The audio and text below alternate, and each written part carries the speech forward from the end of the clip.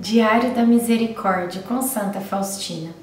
Hoje é dia 6 de maio e nós estamos reunidos mais uma vez para o nosso Diário da Misericórdia com Santa Faustina.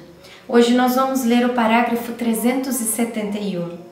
Retiro de oito dias.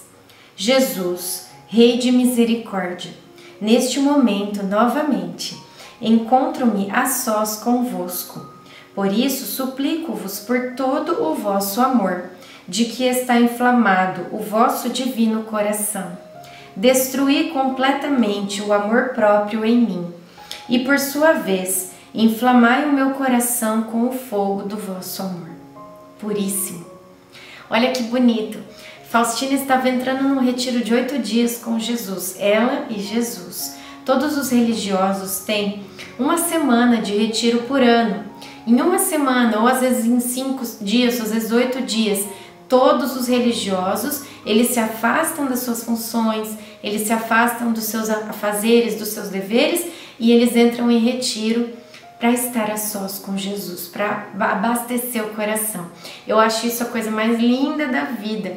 E eu gostaria tanto de ter também alguém que falasse assim: olha, você é mãe, né? Nós vamos te dar aqui um afastamento da função de mãe por sete dias.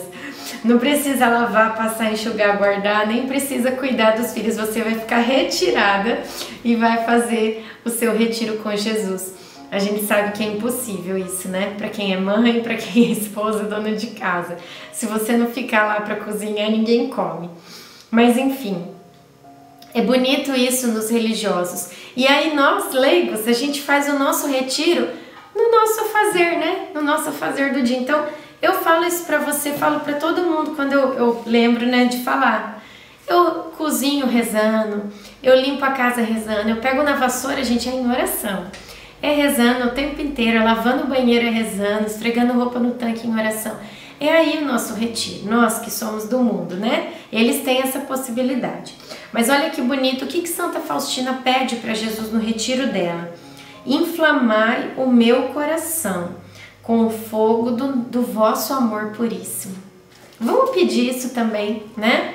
Você não precisa ser uma freira, um padre para ter esse momento, esse encontro com Jesus e para pedir que o seu coração se inflame de amor. Nós podemos pedir a Ele todos os dias: inflamai o meu coração de amor. Inflamai.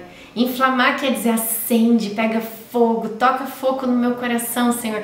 Eu quero esse amor puríssimo, puríssimo. Ela coloca a palavra puríssimo. Porque o nosso amor, ele não é puro, não.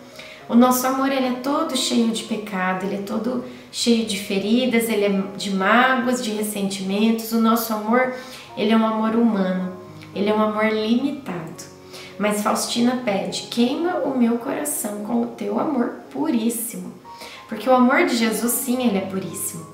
Ele se entrega totalmente, sem reservas. Ele se dá a nós. E ela pede: queima o meu coração com esse amor.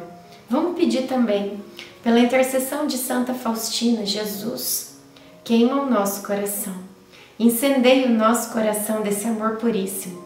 Nós queremos também sentir a presença desse amor dentro do nosso coração. Jesus, eu confio em vós.